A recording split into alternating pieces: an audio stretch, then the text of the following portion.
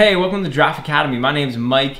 In this course, I'm going to teach you everything that you need to know to get started using Gatsby JS. Now, Gatsby JS is a relatively new static site generator that's built on top of Node.js and it uses React in order to help you build an awesome, fast, and scalable static website. One of the things I love about Gatsby is that you build your static sites using React. And so you have all of the power, modularity, and scalability of React while still being able to generate static web pages which can be served extremely fast on your web server. So you write all of your pages in React, you can access data and you can make your pages interactive and do all sorts of cool things. And then you just generate a bunch of static pages and serve them up on your web server. In this course, we're gonna talk about the basics. So we're gonna get into installing Gatsby, building your first Gatsby site, fleshing out all the pages on your site, and then we're gonna get a little more advanced. So we're gonna talk about making your pages interactive and we're gonna look at how you can use GraphQL in order to access different types of data about your site. So we're gonna be able to access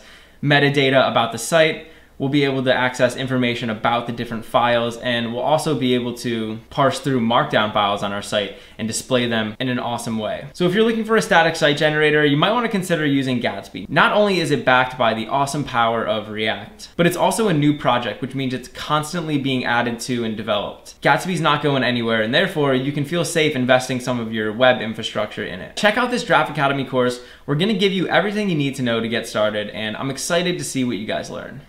Hey, thanks for watching. If you enjoyed the video, please leave a like and subscribe to Giraffe Academy to be the first to know when we release new content. Also, we're always looking to improve, so if you have any constructive criticism or questions or anything, leave a comment below. Finally, if you're enjoying Giraffe Academy and you want to help us grow, head over to giraffeacademy.com forward slash contribute and invest in our future.